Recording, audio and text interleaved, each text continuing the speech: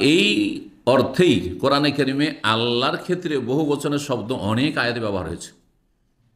হ্যাঁ? ইন্নানি আনাল্লাহ যেমন এক বচন এসছে, তার চাইতে বেশি এসছে বহু বচন। ইন্না নাহনু নাজ্জাল্লাল কোরআন, ইন্না আনজাল না লাইলাতুল কাদর। আমরা নাজেল করেছি।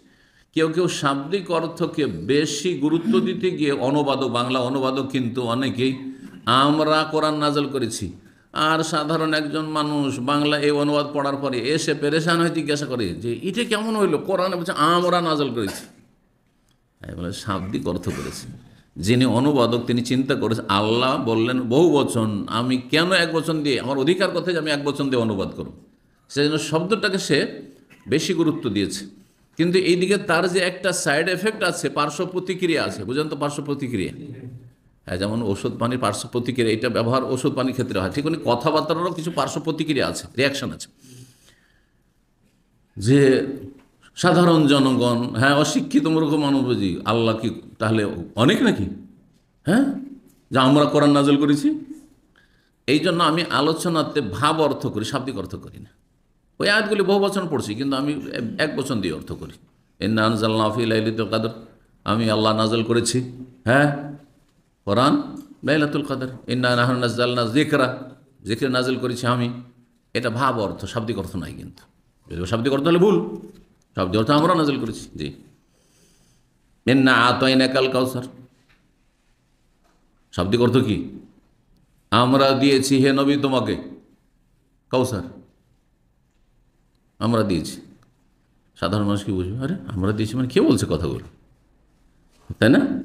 আসল উদ্দেশ্য এখানে কি জন্য বহু বচন তাজিম আলজাম অলি তাজিম, আল্লাহ সবচেয়ে বড় তাজিমের অধিকারী। জি। সুবহান রব্বি আল আজিম জি। আম্মার রুকু ফাজে মুফিহি রব। হাদিস রয়েছে, রুকুতে তোমরা রবের তাজিম পেশ করো, বড়ত্ব মহত্ব ঘোষণা করো। তো যাই হোক, কি বলছিলাম? এহাদি কুমল্লা যদি বলেন, হাদিসের শব্দের উপর আমল করে বললেন, অথচ একজন আপনাকে কি বলেছে? ইয়ারহামকাল্লা বলেছে। আর যদি একজন আছে, তো সেখানে ইহাদি, কুমল্লা না বলে ইহাদি, কাল্লাও যদি বলেন আপনার, গ্রামার জানা আছে, না আমার জানা আছে। হ্যাঁ এহাদি কাল্লা, তাহলে চলবে, যাই, সমস্যা নেই।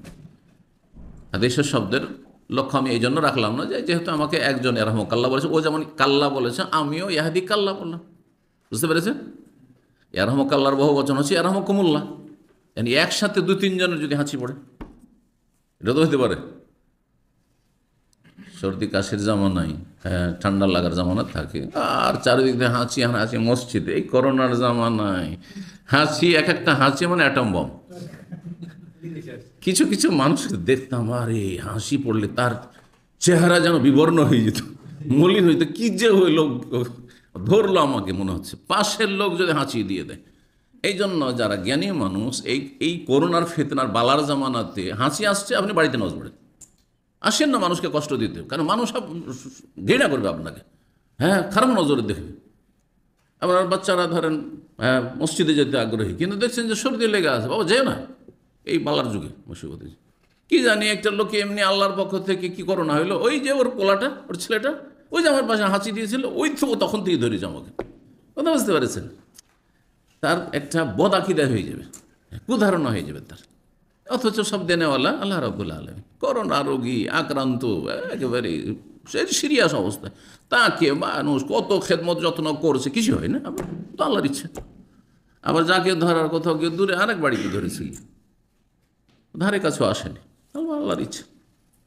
এই জন্য হাদিস নবী সাল্লাম বলেছেন দেনেওয়ালা আল্লাহ। হ্যাঁ কিন্তু কিছু কিছু রোগের মধ্যে এরকম আছে, বৈশিষ্ট্য আছে, সেগুলো ছোঁচে টাইপের ছোঁচে টাইপের কিন্তু রোগের মধ্যে এই ক্ষমতা নেই। ক্ষমতা ক্ষমতার উৎস আল্লাহ রাবুল আলম এই আকিদ অবশ্যই মজবুত থাকতে হবে।